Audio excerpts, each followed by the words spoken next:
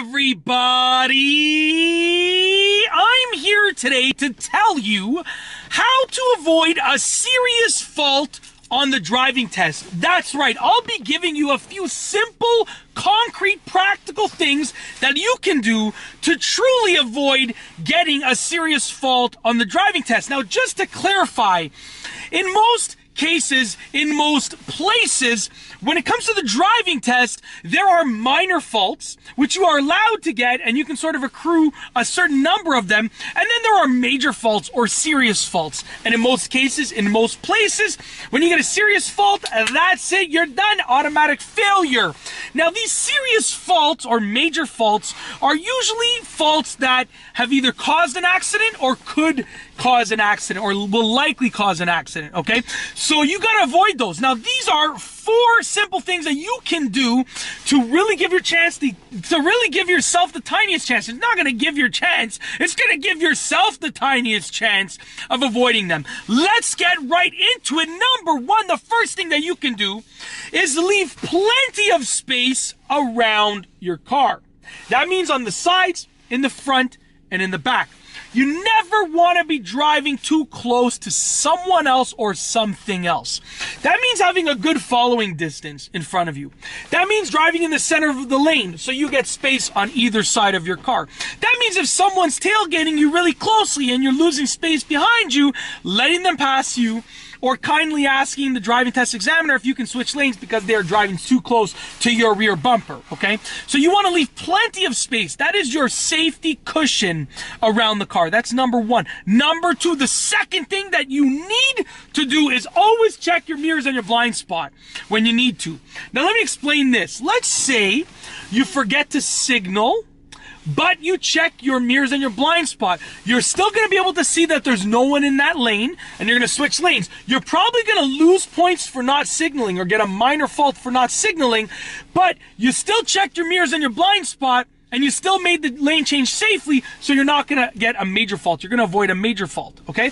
Now, on the other hand, let's say you remember to signal, you put your signal on, but then you don't check, you, you know, you check your mirrors, let's say, but you don't check your blind spot. You don't see that someone's there. You switch lanes, they honk their horn because you almost hit them. Major fault, failure, sorry, just like that. So it's better to always remember to check your mirrors and blind spot when you need to and forget about signaling if you need to forget something. If you're going to forget something, it's better you forget not to signal. You forget to signal than to forget to check your mirrors and blind spot. They're absolutely crucial to making a lane change safely. So always, and turning safely and pulling over safely and moving away from the curb safely, everything. Always check your mirrors and your blind spot whenever you need to. The third thing that you can do or that you should do, I should say, is move slowly when you need to. There are times when you gotta move fast. You're driving on a main road, you're getting onto the highway, you're just driving on a road. Totally understandable. You gotta drive at the safe speed, which is probably gonna be a decently fast speed. There are also times in which you have to move slowly when you're forward parking, when you're reverse parking, Okay, when you are uh, you're forward parking, reverse parking, when you're parallel parking, uh, when you're driving in a parking lot, when you are starting to turn from a red light, let's say, like any of those, like let's say the light is red and it turns green, and you have the ability to go when you're accelerating, when you're starting to do something. If you're accelerating at a green light in a straight line, you gotta probably give it some gas. But when you're accelerating at a green light to turn and the light just turned green, you're not going to be like ripping it around the turn. You're going to be going slowly. So whenever you know that you need to move slowly, move slowly. There is much less of a chance that you'll get into an accident or a near accident or achieve a serious fault or a major fault on that test uh, when you're moving slowly because you have more time to see, assess, and react. It's as simple as that. Last but not least is the fourth thing that you can do and that is to obey all road signs. Road signs, they, they don't you think they just put them there for fun? Let's put no right, no right turn on a red light here. Just, I like it. I like the way that it looks in the in the light over there. Okay, yeah, let's put a random speed sign over here. Let's put a slow down sign over here. Eh, why not? Sure, school zone. Just just throw it on this corner. They don't do it like that. Those signs are there for a reason. Okay.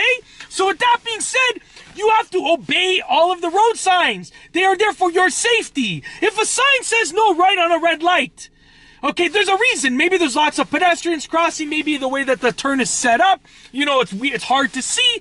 But if you don't obey that sign, you are way more likely to get into an accident or a near accident, which will both cause a major fault, a serious fault, and a failure on your test. So obey the road signs because they're there for a reason. And that's basically it. In this video, I've told you how to avoid a serious fault on the driving test. If you like this video, please be sure to give it a thumbs up. Let me know what you think down below as a comment. And of course, be sure to subscribe for more great car and driving videos just like this one. And that's all I have for you today. Thanks for watching.